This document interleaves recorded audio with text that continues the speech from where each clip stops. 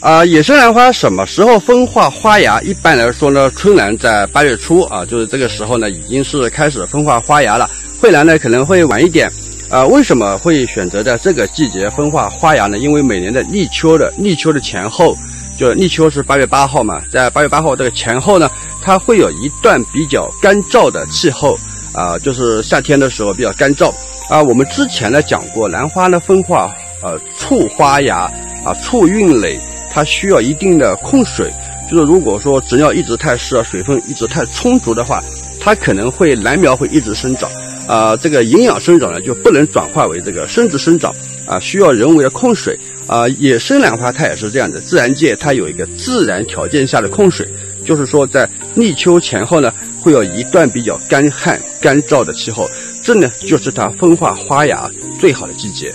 啊，我们今天到到山上来看一下，寻找一下。看看野生兰花的花芽现在呢有没有分化出来？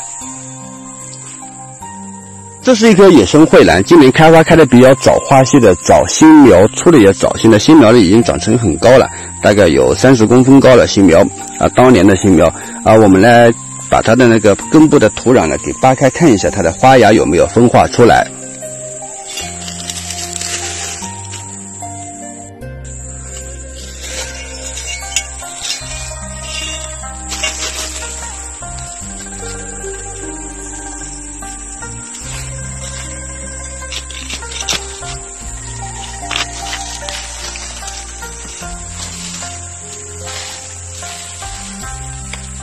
能看到了，为什么我在这个地方选这个野生蕙兰？一般蕙兰呢，都呃花芽萌发比较晚一点，因为这一块位置的它的朝向和它的这个环境啊，每年蕙兰开花比别的地方都会早一点，所以呢，这个地方呢，呃，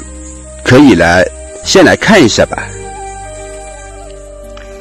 蕙兰的花芽和叶芽可以在这个这个尖头上，这个尖头上可以通过颜色不一样，可以也能看得。也能看得出来，啊，像这个呢，我我感觉它是花芽，它这个尖头上这个红点点呢就比较大，比较明显，啊，是不是？这样看过去它有一个有一个小点点是红色的一个小点点，呃，叶芽上面呢就没有那么明显。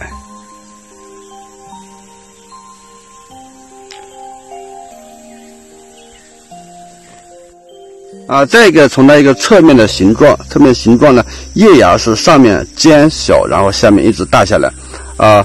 花芽呢感觉就是说上面小啊，下面呢也不大啊，中间呢有点鼓，中间有点鼓，它是两头小，中间鼓的啊，叶芽呢是一个锥形的，上面尖，下面大啊，所以我我认为它是一个花芽，已经是萌发出来的一个花芽。